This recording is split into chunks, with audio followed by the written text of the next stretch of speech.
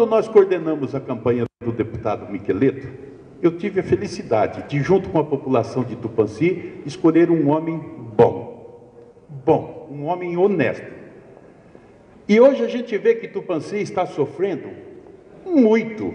A administração pública está patinando, está sem recurso, e às vezes a gente ouve reclamação que é por falta de apoio por nível de Estado. Eu gostaria de convidar novamente aqui o deputado, o prefeito Ito, os vereadores, se você pudesse, deputado, por gentileza. Aqui, por favor, na frente, que vem aqui o prefeito Ito, o vereador Rildo.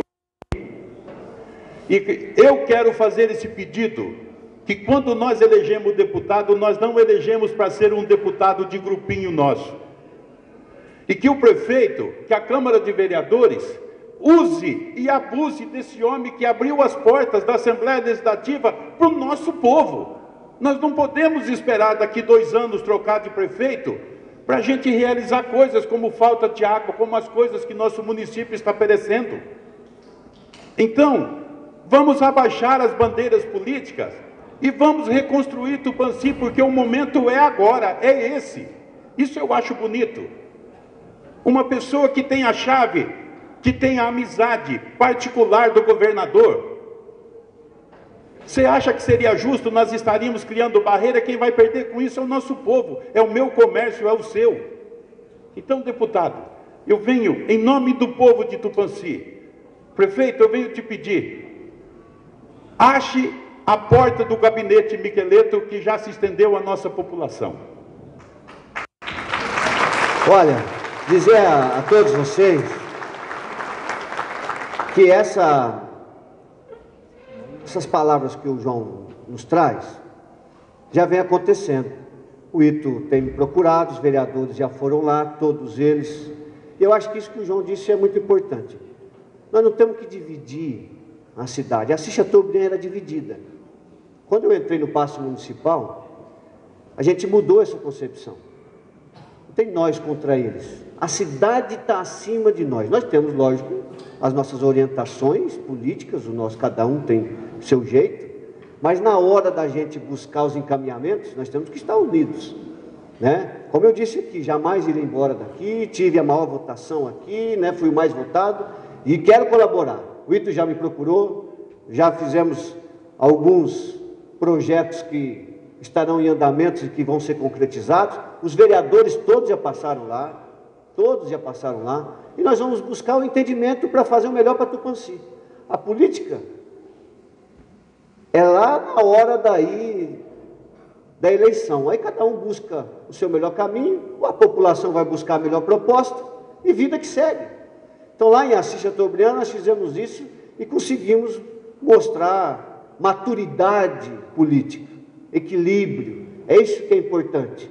Né? Não adianta nós aqui ficar um faqueando o outro. Né? Agora, que as críticas são importantes, que são construtivas, é importante né? as sugestões são importantes, o comércio né, sugerindo para o passo, para os vereadores, os vereadores sugerindo para o prefeito, o prefeito sugerindo para o deputado, o deputado buscando os recursos com o governo do Estado, o, prefeito buscando com os deputados federais recursos para nós.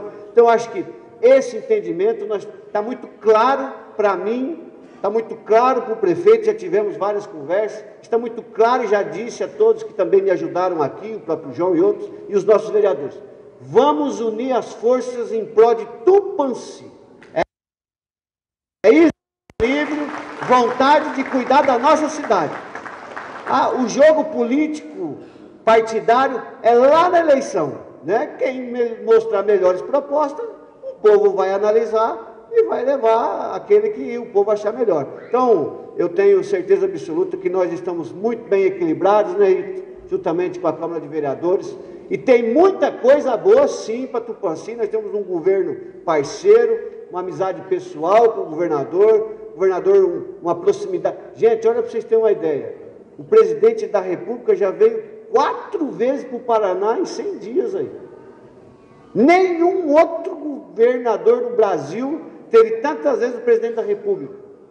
Então isso significa que nós temos hoje um ambiente político favorável. O governador hoje tem os três senadores da República do Paraná falando a mesma língua.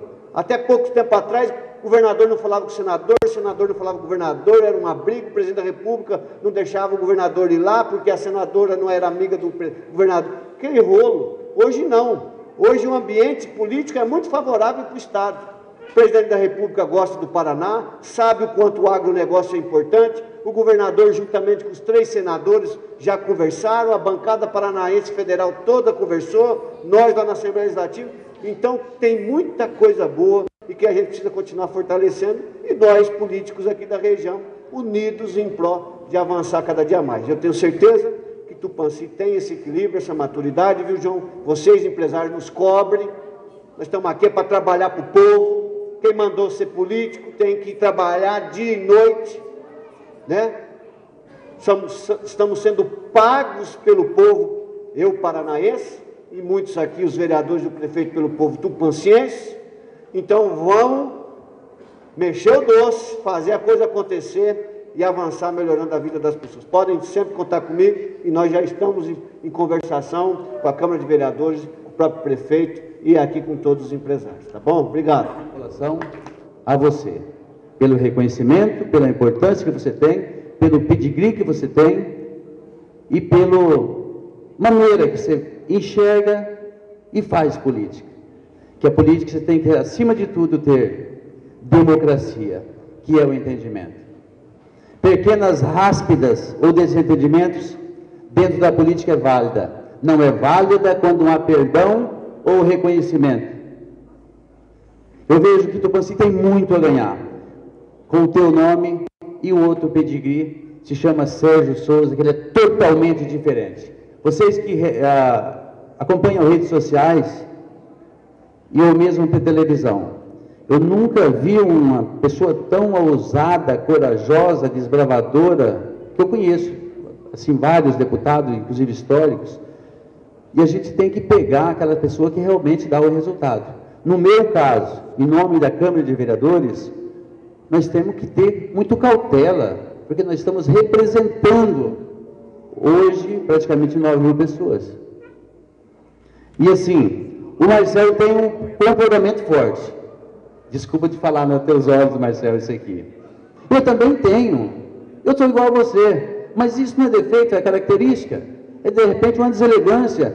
Mas às vezes nós se farpa pelo bem comum daquilo que a gente representa.